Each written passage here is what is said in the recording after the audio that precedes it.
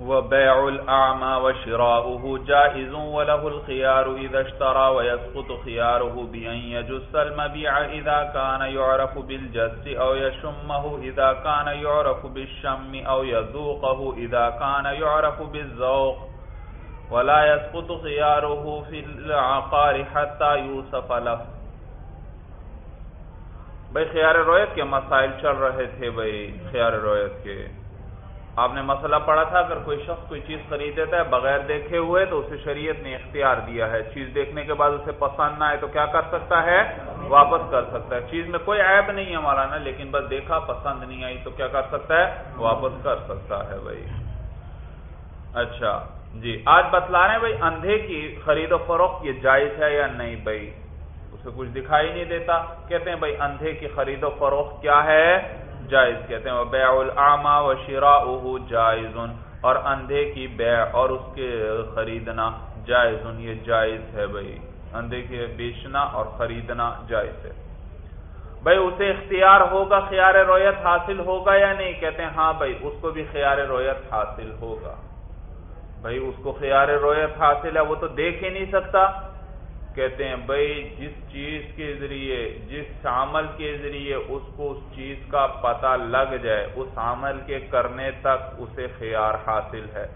مثلا اس نے کوئی کھانے والی چیز خریدی ہے، اس چیز کا پتہ چکھنے سے چلتا ہے، تو جب تک چکھ نہ لے، اسے خیار رویت ہاتھ چکھنے کے بعد اسے پسند نہیں آئی تو کیا کر سکتا ہے؟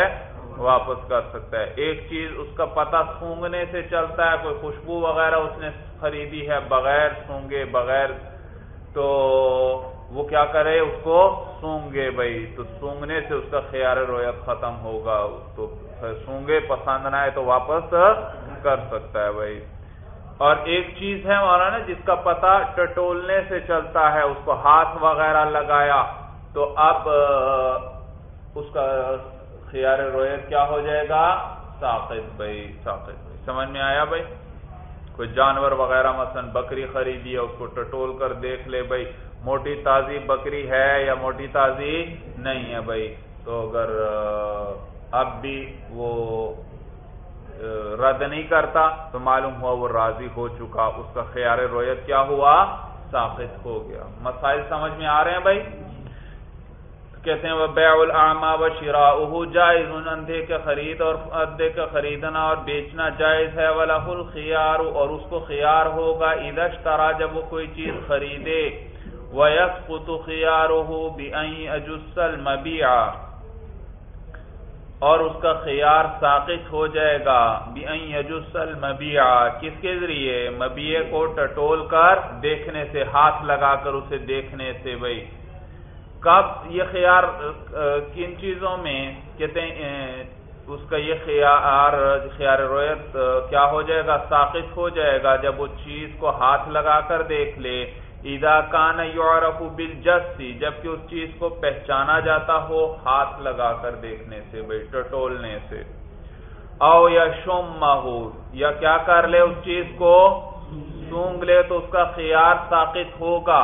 ایزا کان یورف بشمی جبکہ اس چیز کو جانا کس کے ذریعے جاتا ہو؟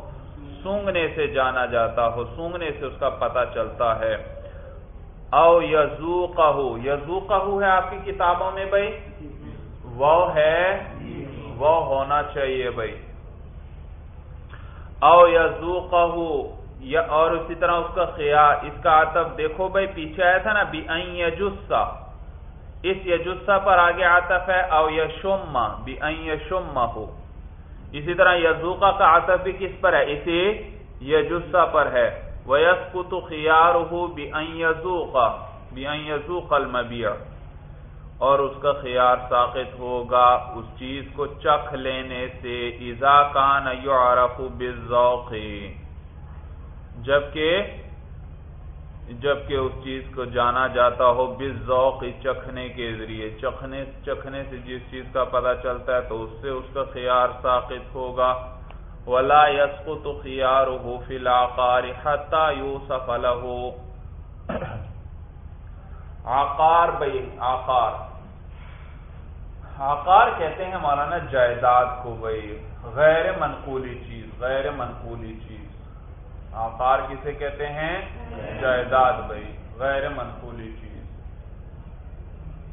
میں نے آپ کو بتلایا تھا بھائی، چیزیں دو قسم پر ہیں۔ کچھ منقولی ہیں، کچھ غیر منقولی۔ منقولی کون سی چیزیں ہیں؟ جی ایک جگہ سے دوسری جگہ ان کو منتقل کیا جا سکتا ہو۔ وہ چیزیں کیا کہلاتی ہیں؟ اور کچھ چیزیں وہ ہیں جن کو ایک جگہ سے دوسری جگہ منتقل نہیں کیا جا سکتا، وہ کیا کہلاتی ہیں؟ غیر منقولی۔ مثلا مولانا گھر ہے، یہ کس میں سے ہے؟ غیر منقولی بھائی۔ سمجھ میں کوٹھی ہے، یہ کس میں سے ہے؟ غیر منقولی۔ اسی طرح مولانا کھیت ہے، یہ بھی کس میں سے ہے؟ غیر منقولی۔ زمین بھی ہے کیا؟ غیر منقولی۔ باغ ہے مولانا، یہ بھی کیا ہے؟ غیر منقولی۔ کی ایک جگہ سے دوسری جگہ نقل نہیں کیے جا سکتے۔ ان کے علاوہ جتنی بھی چیزیں ہیں، وہ ساری منقولی ہیں مولانا۔ سمجھ میں آیا بھائی؟ گاڑی ہے یا آپ کی کتابیں ہیں، یہ بسترے ہیں مولانا۔ قلم ہے گاڑی ہے، بس ہے، ٹرک ہے، جتنی بھی بڑی سے بڑی چیز ہو مولانا، یہ ساری کس کے اندر داخل ہیں؟ کیونکہ ان کو ایک جگہ سے دوسری جگہ کیا کیا جاتا ہے؟ نہ، منتقل کیا جا سکتا ہے، بھائی، منتقل کیا جاتا ہے۔ تو آکار کا کیا معنی ہوا؟ جائیداد۔ یا کیا کہہ لیں؟ غیر منقول بھائی ایک اندھا ہے، اس نے زمین خریدی۔ زمین خریدی۔ تو کیا اب اسے خیار رویت حاصل ہوگا یا خیار رویت حاصل نہیں ہوگا بھائی؟ بھائی آپ نے مثلا، آپ ہیں بھائی، اندھے کا مسئلہ فی الحال چھوڑو۔ آپ نے ایک زمین خریدی ہے، بغیر دیکھے۔ زید نے آپ کے سامنے تعریف کی بہت اچھی زمین ہے۔ سونا ہے، سونا بھائی۔ سمجھ میں اللہ نے آپ کو خوب مال دیا تھا بھائی۔ اللہ آپ سب کو خوب وسیع حلال رزق دے بھائی۔ تو خوب مال تھا آپ کے پاس، آپ کو تو پرواہ ہی نہیں ہے بھائی پیسوں کی۔ آپ نے وہیں بیٹھے بیٹھے کیا کیا؟ اس زمین کو خرید لیا۔ تو اب آپ بتائیے، آپ کو خیار رویت ہے یا نہیں مالانا خیار رویت حاصل ہے۔ آپ گئے بھائی اس زمین کا دورہ کرنے بھائی۔ جائزہ لیا۔ پہنچتے ہی دیکھا ہو یہ تو بڑی ردی قسم کی زمین میں نے خرید لی۔ فوراً کیا کر سکتے ہیں؟ واپس کر سکتے ہیں۔ پسند نہیں آئی تو واپس کر سکتے ہیں۔ لیکن اگر دیکھنے کے بعد خاموش رہتے ہیں، تو آپ کا خیار کیا ہو جائے گا؟ ثابت ہو جائے گا۔ خاموشی معلوم ہو آپ راضی ہیں۔ اگر پسند نہ ہوتی تو آپ فوراً کیا کرتے؟ اس کو رد کرتے بھائی اسی طرح اندھا ہے بھائی، اس نے ایک زمین خرید لی۔ تو جیسے عام خریدنے والے کو خیال رویت حاصل ہوتا ہے، اندھے کو بھی کیا حاصل ہوگا؟ سمجھ میں بشرتے کے۔ عام آدمی کو خیال رویت کب حاصل ہوتا ہے؟ جبکہ اس نے خریدنے سے پہلے اس چیز کو دیکھا۔ تو اندھے نے بھی زمین کو خریدا ہے۔ اس سے پہلے کسی نے اس کے لیے زمین کے اوصاف بیان نہیں کیے تھے۔ مثلا اس کو اگر یہ بتا دیا تھا بھائی یہ اس اس طرح کی زمین ہے، اس کے دائیں طرف نہر بہ رہی ہے، بائیں طرف یہ ہے، فلاں طرف یہ ہے، فلاں طرف یہ ہے سارا اور اس اس قسم کی زمین ہے، یہ ساری چیزیں جب بیان کر دی گئیں تو اب مولانا یہ خیال رویت اس کو حاصل نہیں ہوگا، کیونکہ ان ساری باتوں کا تو اس کو خریدنے سے پہلے ہی پتا تھا۔ لیکن اگر ان چیزوں کا اسے پتا نہیں ہے اور اس نے زمین خریدی ہے، تو اب اسے بھی شریعت نے خیال رویت دیا ہے۔ یعنی اس کے سامنے جب یہ زمین کے اوصاف ذکر کر دیے جائیں گے، اس اس طرح کی زمین ہے، اس طرح کی زمین ہے اور دائیں طرف یہ چیز ہے، بائیں طرف یہ ہے، چاروں اطراف وغیرہ اس کی ذکر کر دی، صفت ذکر کر دی۔ اب مولانا، اس کا خیار رویت کیا ہو جائے گا؟ جب اس کو سن کر بھی وہ خاموش رہا، معلوم ہوا وہ راضی ہو چکا ہے۔ سورج سمجھ میں آ گئی بھائی؟ تو یہی بات کریں ولایت کو تو خیار ہو فلا قاری اور اندھے کا خیار ساقط نہیں ہوگا جائیداد کے اندر۔ یوسف الح یہاں تک کہ اس کے لیے اس زمین کا وصف بیان کر دیا جائے۔ اس جائیداد کا وصف یعنی اس کی حالت بیان کر دی جائے۔ حتی یوسف الح یہاں تک کہ اس کی حالت بیان کر دی جائے اس کے لیے۔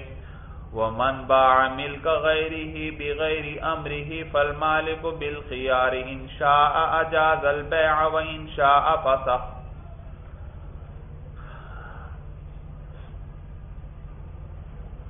بھائی یہ ذکر آیا بیع فضولی کا، فضولی۔ بیع فضولی فضولی کہتے ہیں غیر متعلقہ آدمی کو بھائی غیر متعلقہ شخص کیا کہلاتا ہے؟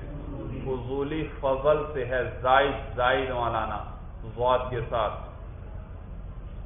فضل واد کے ساتھ۔ فضولی زائد مولانا، غیر متعلقہ شخص بھائی ایک آدمی کی چیز نہیں ہے، وہ اٹھا کر دوسرے کی چیز بیچ دیتا ہے۔ یہ کیا کہلاتی ہے؟ بیع فضولی کہلاتی ہے۔ سمجھ میں آیا؟ بھائی، آپ اپنا موبائل یہاں رکھ کر پانی پینے کے لیے گئے تھے۔ بھائی، آپ کے ساتھی نے دوسرے کے ساتھ بیع کر لی۔ لو بھائی، یہ موبائل میں نے تمہیں پانچ ہزار میں بیچ دیا۔ اس نے فوراً کہا، یہ میں نے قریب پانچ ہزار میں آپ سے موبائل خرید لیا۔ یہ کون سی بیع کہلائے گی بھائی بیع فضولی بھائی آپ اس چیز کے مالک ہیں نہیں بھائی تو آپ غیر متعلقہ شخص ہیں۔ آپ نے ویسے ہی آپ کون ہوتے ہیں بھائی اس موبائل کو بیچنے والے؟ آپ کا جب ہے ہی نہیں۔ تو یہ بیع فضولی ہے مولانا۔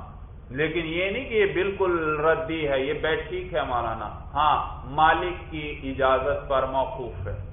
مالک آئے گا، اس کو آ کر بے کا پتہ چلا۔ اب وہ اجازت دے دے تو بے ہو گئی اور اگر اجازت نہ دے تو بے کیا ہوئی؟ ختم ہو گئی۔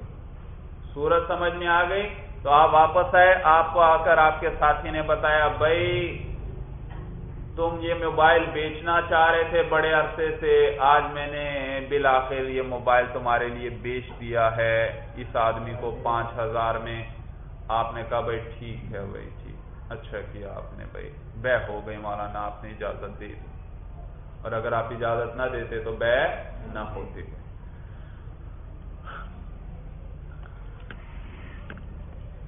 تو کہتے ہیں ومم با مل کا غیر ہی اور جس شخص نے بیچا کسی غیر کی ملکیت کو بغیر امری ہی اس کے حکم کے بغیر ہی، جس نے کسی دوسرے کی چیز کو بیچا، اس کے کہے بغیر ہی فل مالک بالخیاری تو مالک کو اختیار ہے۔ انشاء اجاز البیع، چاہے تو اجازت دے دے بے کی۔ وہ انشاء فسخ، اور چاہے تو کیا کرے؟ فسخ کر دے۔ سمجھ میں آیا بھائی؟ تو بھائی آپ کا تو فائدہ ہو گیا تو کہ آپ کیا کس کو ڈھونڈ رہے تھے؟ گاہک کو ڈھونڈ رہے تھے۔ آپ کو مل نہیں رہا تھا بھائی، اس نے آپ کا فائدہ کر دیا۔ سمجھ میں؟ وَلَهُ الْإِجَازَةُ إِذَا كَانَ الْمَعْقُودُ عَلَيْهِ بَاقِيًا وَالْمُتَعَاقِدَانِ بِحَالِهِمَا۔ بھائی یہ اجازت کب دے سکتا ہے؟ کہتے ہیں، یاد رکھنا بھائی اجازت بے کی دینا چاہتا ہے۔ بھائی اس نے کیا کیا تھا؟ اس کے ساتھی نے اس کا موبائل اٹھا کر بیچ دیا تھا۔ اب یہ آ کر کیا کرنا چاہتا ہے؟ بے کی اجازت دینا چاہتا ہے تو بے کی اجازت صرف اسی صورت میں دے سکتا ہے جبکہ وہ مبیحہ باقی ہو۔ کیونکہ آپ نے پڑھا ہے مولانا، بے کا دار و مدار کس پر ہوتا ہے؟ مبیہ پر۔ مبیہ ہے تو بے ہے مبیہ نہیں تو بے بھی نہیں۔ بھائی، کس چیز کی پھر بے؟ جب مبیہ ہی نہیں ہے، ختم ہو چکا ہے۔ تو مبیہ کا ہونا ضروری۔ یعنی جب یہ اجازت دے، اس وقت وہ موبائل کیا ہونا چاہیے؟ موجود ہو یعنی اس کا وجود ہونا چاہیے، یہ نہ ہو مولانا، اجازت دینے سے پہلے موبائل اس کے ہاتھ سے گرا تھا اور ٹکڑے ٹکڑے ہو گیا، یا آگ میں گر پڑا، جل گیا بھائی۔ اب کس بیع کی اجازت دیتے ہو؟ مبیا کوئی موجود ہے؟ نہیں بھائی۔ تو مبیے کا جب اجازت دے، اس وقت مبیے کا موجود ہونا ضروری بھائی۔ اور اسی طرح مولانا، بائے اور مشتری، وہ جو فضولی تھا اور جس شخص کے ساتھ اس نے بے کی تھی ان دونوں کا موجود ہونا بھی ضروری بھائی، زندہ ہونا ضروری بھائی۔ کیونکہ ایجاب و قبول کرنے والے کون ہیں؟ وہ دو آدمی جنہوں عقد کرنے والے، انہوں نے ایجاب و قبول کیا تھا بھائی۔ تو اب آپ بے کی اجازت دے رہے ہیں اور بے تو نام تھا ایجاب و قبول کا۔ ان میں سے اگر کوئی ایک زندہ ہی نہیں ہے، مثلا مر چکا ہے، تو اب کس بے کی اجازت دیتے ہو؟ ایجاب کرنے والا ہے یا قبول کرنے والا ہے؟ ایجاب و قبول والا ہی نہیں جو جنہوں نے عقد کیا تھا، ان کے وجود نہیں ہے تو کس بے کی اجازت دے رہے ہو بھائی؟ لہذا جب فضولی کی بے پائی جائے اور مالک آ کر اجازت دینا چاہتا ہے، تو کتنی شرطیں ہیں؟ دو شرطیں۔ ایک تو مبیع بھی موجود ہونا چاہیے، ہلاک نہ ہوا ہو، اور دوسری کیا شرط ہے؟ کہ عقد کرنے والے بھی موجود ہو یعنی یعنی زندہ ہو یا یوں یعنی کون؟ میں اہلیت ہو مثلا بھائی، عقد کرنے والوں میں سے ایک دیوانہ ہو گیا بھائی، پاگل ہو گیا بھائی۔ اب کس بات کی اجازت بھائی؟ دیوانہ ایجاب و قبول کر سکتا ہے؟ نہیں، تو ایجاب و قبول کرنے والا ہی دیوانہ ہو چکا ہے، تو آپ کس بے کی اجازت دینا چاہتے ہیں؟ لہذا اب اجازت دینے سے بھی بے نہیں ہوگی مولانا۔ سورج سب کو سمجھ میں آ گئی بھائی؟ وَلَهُ الْإِجَازَةُ اور مالک کو اجازت دینے کا حق ہے، اِذَا كَانَ الْمَعْقُودُ عَلَيْهِ بَاقِيًا، جب معقود علیہ باقی ہو۔ معقود علیہ بھائی، وہ چیز جس پر عقد ہوا ہے یعنی مبیعہ مبیعہ۔ اذا كان المعقود علیہ باقیا جبکہ کیا ہو مولانا؟ معقود علیہ باقی ہو۔ معقود علیہ وہ چیز جس پر عقد ہوا ہے یعنی مبیعہ مراد ہے۔ والمتعاقدان بحالہما اور دونوں عقد کرنے والے جو ہیں، وہ بھی اپنے حال پر ہوں یعنی زندہ ہوں، ساتھ ان میں اہلیت بھی ہو گئی۔ کوئی ان میں سے مر نہ گیا ہو، کوئی ان میں سے دیوانہ وغیرہ نہ ہو گیا ہو کہ اس کی اہلیت ہی نہیں رہی بے کرنے کی بھائی وَمَنْ رَأَى أَحَدَ الثَّوْبَيْنِ فَاشْتَرَاهُمَا ثُمَّ رَأَى الْآخَرَ جَازَ لَهُ أَنْ يَرُدَّهُمَا. صورت مسئلہ یہ بھائی، ایک آدمی ہے، اس نے دوسرے آدمی سے دو کپڑے خریدے بھائی، دو تھان خریدے بھائی۔ ایک تھان وہ دیکھ چکا ہے اور دوسرا تھان ابھی اس نے نہیں دیکھا۔ تو معلوم ہوا بھائی، پتہ لگ گیا بھائی، ایک تھان ہے معلوم اور دوسرا تھان ہے مجھول بھائی۔ کتنے تھان خریدے؟ ایک کو وہ پہلے دیکھ چکا ہے، دوسرے کو ابھی۔ اچھا خریدنے کے بعد کیا اسے خیار رویت حاصل ہوگا یا نہیں؟ کہتے ہیں بھائی خیار رویت اسے حاصل ہوگا بھائی۔ دو تھانوں میں سے ایک کو دیکھ چکا ہے اور ایک کو نہیں دیکھا۔ خریدنے کے بعد اسے کیا حاصل ہوگا بھائی؟ بھائی خیار رویت کیسے حاصل ہوگا بھائی؟ ایک کو وہ دیکھ چکا ہے، دیکھ چکا ہے بھائی۔ تو بھائی، ایک کو اس نے دیکھا ہے، دوسرے کو تو نہیں دیکھا۔ اور ضابطہ ہے کہ معلوم کے ساتھ جب مجھول مل جائے تو جو مجموعہ ہوگا وہ مجھول ہوگا بھائی۔ مجموعہ کیا ہوگا؟ بھائی ایک چیز تھی معلوم، اس کو دیکھ چکا ہے۔ دوسری چیز کیا ہے؟ مجھول۔ اس معلوم کے ساتھ کیا مل چکی ہے؟ مجھول چیز مل چکی ہے۔ تو سارے پر کس کا حکم لگے گا؟ مجھول کا۔ یعنی کل کو تو نہیں دیکھا۔ کل کو نہیں دیکھا۔ تو کہتے ہیں المجھول ایزا ضم المعلوم یسیر الکل مجھول بھائی سارا مجموعہ کیا بن جائے گا؟ مجھول بن جائے گا بھائی۔ تو لہذا اب اسے خیار رویت ہے مولانا، دوسرا تھان دیکھا، اسے پسند نہیں آیا، تو اب کیا کر سکتا ہے؟ واپس۔ لیکن یاد رکھو مولانا، واپس کرنا چاہتا ہے تو دونوں کو واپس کرے گا، یہ نہیں کر سکتا۔ ایک کو تو رکھ لے اور دوسرے کو واپس کر دے۔ اس لیے کہ ایک ایجاب کے ساتھ یہ دونوں چیزیں بیچی گئی ہیں۔ ایجاب ایک ہوا تھا یا الگ الگ ایجاب ہوئے تھے؟ بھائی، اگر الگ الگ ایجاب ہوئے تھے، ایک تھان الگ اس سے خریدا ہے، دوسرا تھان الگ اس سے خریدا ہے تو پھر تو مسئلہ ہی نہیں مارانا جو تھان دیکھا ہے اس کو واپس نہیں کر سکتا۔ اور جس تھان کو نہیں دیکھا تھا، اس کو کیا کر سکتا ہے؟ کیونکہ دونوں بے الگ ہیں، تو دونوں میں الگ الگ خیار رویت آنے تھے۔ ایک کو پہلے دیکھ چکا تھا، اس میں خیار رویت آیا ہی نہیں۔ دوسرے کو اس نے نہیں دیکھا تھا، اس میں کیا گیا؟ خیار رویت آ گیا، اس کو واپس کر دے۔ لیکن صورت وہ ذکر ہو رہی ہے کہ ایک، دو یا کئی چیزیں کیا کیا، ایک ہی ایجاب کے ساتھ خریدی ہیں۔ اور ان میں سے بعض کو دیکھا ہے اور بعض کو نہیں دیکھا، تو کیا حکم بتلایا اس کے اندر؟ کیا حاصل ہو جائے گا؟ خیار رویت حاصل ہوگا، کیونکہ معلوم چیزوں کے ساتھ کس قسم کی کس قسم کی چیزیں مل گئی ہیں؟ مجھول مل گئی ہیں، اور مجھول جب معلوم کے ساتھ مل جائے تو کل جو ہوگا، جو مجموعہ ہوگا، وہ کس کے حکم میں ہوگا؟ وہ سارا مجبول کے حکم میں ہے، اور مجبول چیز کے اندر تو خیار رویت حاصل ہوتا ہے، لہذا یہاں پر بھی کیا ہوگا؟ خیار رویت حاصل ہو جائے گا۔ اور چاہے تو ساری چیزوں کو رکھ لے، چاہے تو ساری چیزوں کو واپس کر دے۔ یہ نہیں کر سکتا، کچھ کو رکھ لے، جن کو دیکھا ہے دیکھا تھا، ان کو رکھ لے، جن کو نہیں دیکھا تھا، انہیں واپس کر دے۔ سمجھ آیا؟ بھائی یہ کیوں نہیں کر سکتا؟ یاد رکھو، ایک بیع کا ضابطہ لکھ لیجیے مولانا۔ ایک بیع کا قیمتی ضابطہ لکھ لیجیے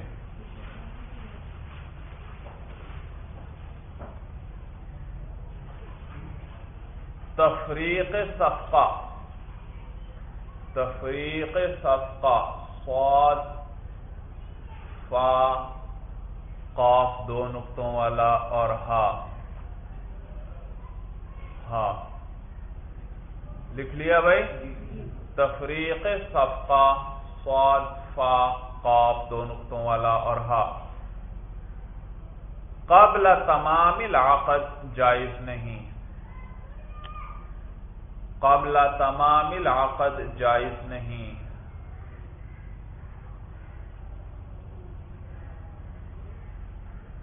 البتہ بعد، البتہ تفریق صفقہ۔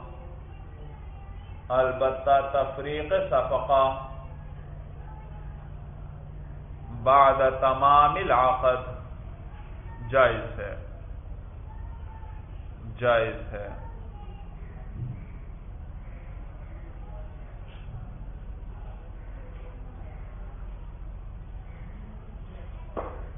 ضابطہ لکھ لیا بھائی۔ تفریق صفقہ کیا ہے؟ قبل تمام علاقت جائز نہیں لیکن بعد تمام علاقات جائز۔ اب سب سے پہلے یہ سمجھ لو صفقہ کس کو کہتے ہیں بھائی۔ صفقہ کا ایک معنی ہے عقد عقد۔ عقد۔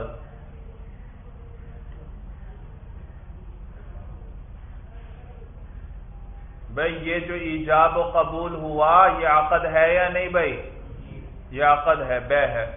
تو یہ عقد، اس کا ایک نام کیا ہوا؟ دوسرا میں نے ابھی کیا لکھوایا؟ صفقہ بھائی۔ کیا لکھوایا؟ یہ عقد کا نام ہے۔ اس کا دوسرا معنی، وہ ساری چیز، وہ سارا مجموعہ جس کا ایجاب ہوا ہے، وہ صفقہ کہلاتا ہے۔ وہ سارا مجموعہ جس کا ایجاب ہوا ہے، صفقہ کہلاتا ہے۔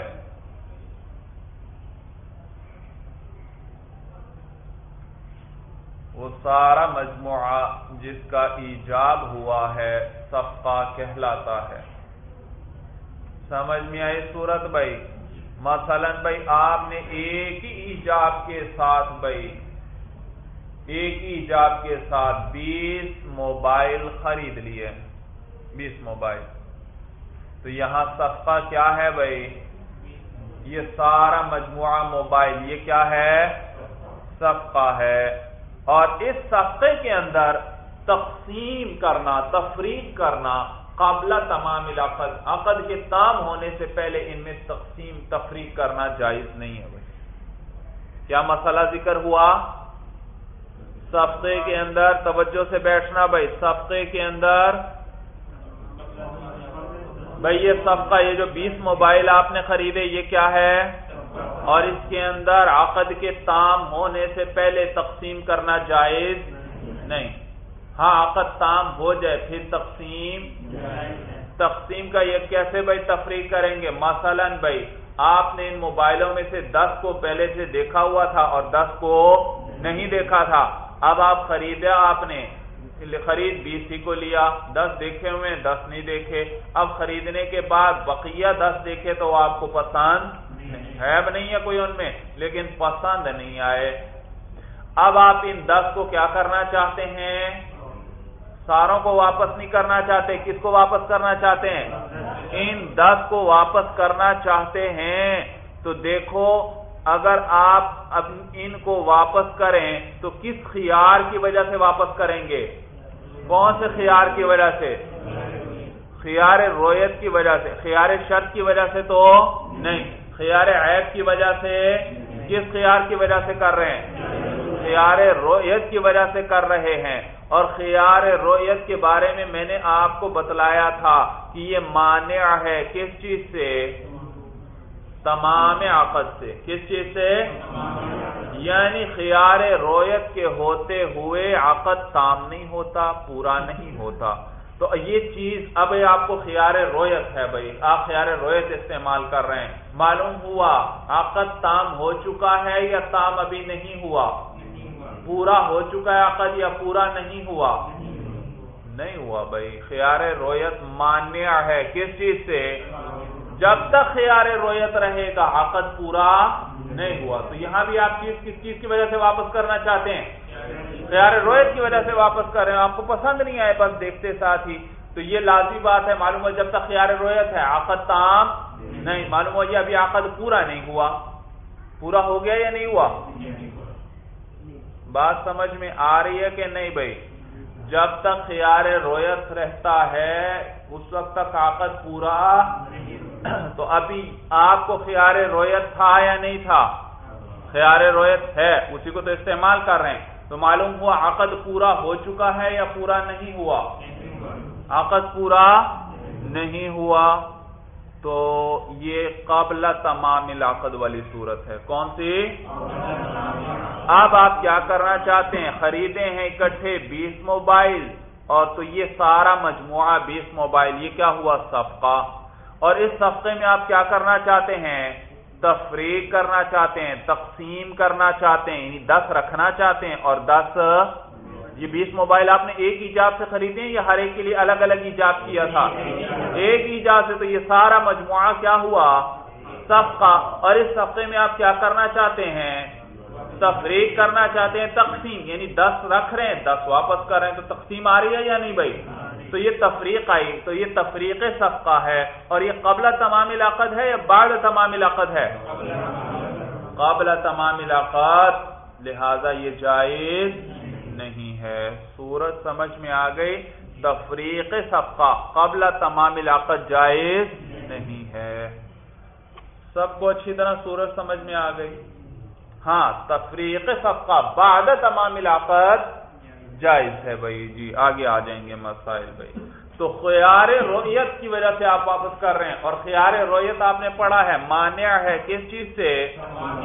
تمام آپس سے۔ تو خیار رویت جب تک ہے، معلوم ابھی بے پوری نہیں ہوئی بھائی، پوری رضامندی نہیں آئی۔ ایک چیز دیکھ لے گا، پھر انکار نہیں کرتا، تو اب پوری رضامندی آ گئی۔ لیکن جب تک ایک چیز کو دیکھا ہی نہیں ہے، بے کے اندر آپ نے پڑھا تھا، رضامندی ضروری ہے یا نہیں؟ دونوں آدمیوں کی۔ تو بغیر دیکھے رضامندی پوری ہو جائے گی؟ نہیں بھائی، تو جی رضامندی یہ بھی پوری طرح نہیں پائی گئی تو بے پوری نہیں ہوئی۔ جب بے پوری نہیں ہوئی، معلوم ہوا تمام عقد نہیں ہوا۔ اور تمام عقد سے پہلے آپ کیا کرنا چاہتے ہیں؟ تفریق سبقہ اور تفریق سبقہ قبل تمام علاقت تو جائز؟ سب کو صورت سمجھ نہیں آئی کہ دوہرا دوں بھائی۔ جی؟ دوہرا دوں؟ دوبارہ سنو بھائی۔ ضابطہ میں نے آپ کو یہ لکھوایا۔ کہ تفریق صفقہ قبل تمام علاقت جائز اور تفریق صفقہ بعد تمام علاقت جائز ہے۔ عقد پورا ہو جائے پھر تقسیم کرنا چاہیں آپ کرتے رہیں، لیکن ابھی عقد ہی پورا نہیں ہوا۔ ابھی تو ہم عقد کے بیچ میں چل رہے ہیں بھائی، پورا نہیں ہوا ابھی۔ عقد کے پورا ہونے کے لیے رضامندی ضروری تھی اور رضامندی کسی چیز کو دیکھ کر ہوتی ہے، بغیر دیکھے رضامندی۔ اگر زبان سے کہہ بھی دے مولانا کہ میں راضی ہوں، بغیر دیکھی راضی ہوں، مولانا، پھر بھی خیال رویت ساقت نہیں ہوتا۔ یہ شریعت نے حق دی ہے۔ تم کون ہوتے ہو بھائی؟ شریعت کے حق کو ختم کرنے والے۔ کہتے ہیں، میں بغیر دیکھی راضی ہوں۔ نہیں بھائی، پھر بھی اسے خیال رویت حاصل ہوگا مولانا۔ چیز دیکھنے کے بعد اسے پسند نہیں آتی تو کیا کر سکتا ہے؟ ہاں تو ایک چیز جب تک دیکھی نہیں، رضامندی پوری نہیں۔ شریعت نے کتنا حقوق کا خیال رکھا بھائی، دیکھا، جب تک نہیں دیکھی، پوری طرح رضامندی نہیں۔ اور جب تک پوری طرح رضامندی نہیں، بے بھی پوری نہیں کیونکہ بے کے اندر تو رضامندی کا پوری طرح ہونا ضروری تھا۔ تو اب بھائی، ایک آدمی ایک ایجاب کے ذریعے جتنی چیزیں اکٹھی خریدتا ہے، ان کو کیا کہتے ہیں؟ صفقہ ان کے اندر تفریق کرنا، تقسیم کرنا، حصے کرنا، یہ عقد پورا ہونے کے بعد تو کر سکتے ہیں آپ۔ عقد پورا ہونے سے پہلے اس نے، اب مثلا آپ دیکھتے ہیں بھائی، کرتے کیا ہیں؟ بیس موبائل لیے تھے، آپ کیا کرنا چاہتے ہیں؟ دس واپس کرنا چاہتے ہیں اور دس؟ بھائی، یہ دس آپ رکھ رہے اور دس واپس، یہ کس، یہ کیا طریقہ ہے؟ میں نے تو بیس کا اکٹھا ایجاب کیا تھا۔ قبول کرنا ہے تو سارے کے سارے کو قبول کرو اور قبول نہیں کرنا تو سارے کے ساروں کو کیا کر دو؟ واپس۔ ایجاب جب اکٹھا ہوا ہے تو قبول بھی ساروں کا اکٹھا ہی ہوگا، یہ نہیں ہو سکتا۔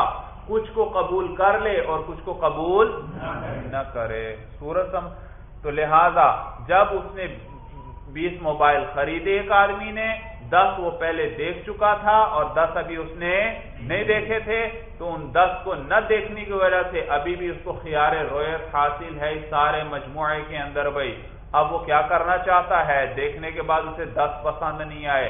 اب وہ دس واپس کرنا چاہتا ہے، دس رکھنا چاہتا ہے۔ تو ہم اسے کیا کہیں گے؟ کیا ضابطہ سنا دیں گے؟ کہ تفریق صفقہ قبل تمام علاقہ جائز نہیں ہے۔ سمجھ میں آیا؟ سا ان بیس کے بیس موبائل کا ایک ہی ایجاب ہوا تھا۔ رکھنا ہے۔ تو ساروں کو رکھو، نہیں رکھنا تو ساروں کو کیا کر دو؟ واپس کر دو۔ اب سمجھ میں آیا اچھی طرح بھائی؟ یہ مانا ہے مولانا، ومن احد صوبینی اور جس شخص نے دیکھا دو کپڑوں میں سے کسی ایک کو فشتارا ہما پھر اس نے دونوں کو خرید لیا۔ دیکھا ایک کپڑے کو اور خرید دونوں کو لیا۔ سمارا الآخرا پھر اس نے دوسرے کپڑے کو دیکھا۔ جاز لہو ہما تو جائز ہے اس کے لیے کہ دونوں کو کیا کر دے؟ واپس کر دے۔ کیا کر دے۔ واپس کر دے بھائی۔ تو یہ خیار رویت کی وجہ سے واپس کرے گا بھائی۔ خیار رویتی بطل خیار بھائی خیار رویت کس چیز کا نام ہے؟ ارادے کا نام ہے۔ کس چیز کا نام ہے؟ بھائی دیکھنے کے بعد ایک چیز پسند آ گئی۔ سمجھ میں آیا؟ تو رکھ لے گا۔ پسند نہ آئی تو کیا کرے گا؟ لہذا یاد رکھو، یہ وارثوں کی طرف منتقل نہیں ہوتا۔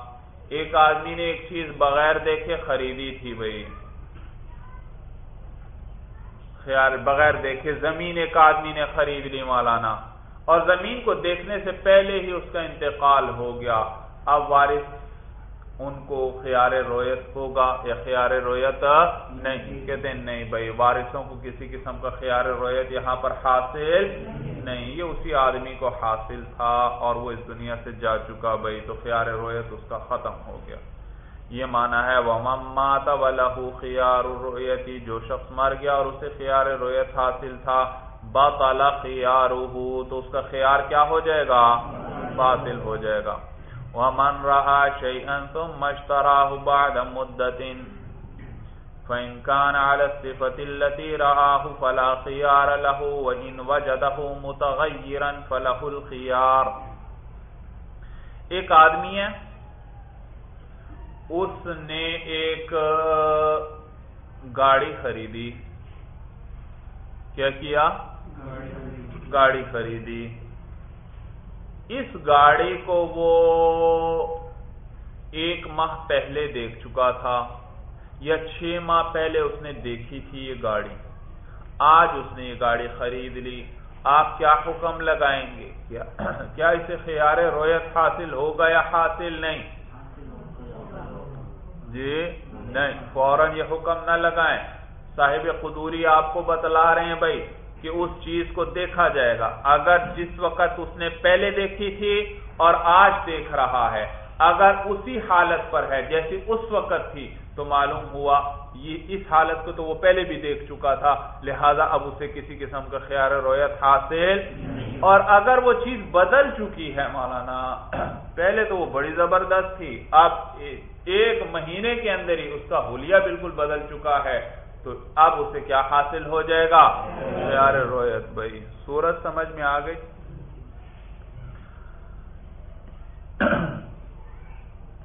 ومن را شیئن اور جس نے کوئی چیز دیکھی، ثم اشتراہ بعد مدت، پھر اس کو خرید لیا کچھ مدت کے بعد۔ فَإِن كَانَ عَلَى الصِّفَةِ الَّتِي رَآهُ پس اگر وہ چیز اسی حالت پر تھی، صفت کا کیا ترجمہ یہاں کر لیں؟ حال۔ اگر یہ اسی حالت سے تھی، الَّتِي رَآهُ جو اس نے دیکھی تھی۔ فلا خیار لہو تو اسے کسی قسم کا کوئی خیار حاصل نہیں۔ وَإِن وَجَدَهُ مُتَغَيِّرًا اور اگر اس نے اسے متغیر پایا بدلا ہوا پایا فَلَهُ الْخِيَارُ تو اس شخص کو کیا حاصل ہوگا؟ خیار۔ حاصل ہوگا مولانا۔ چلیے بس بھائی۔ چلیے بس مولانا هو المرام والله اعلم بحقیقت الکلام۔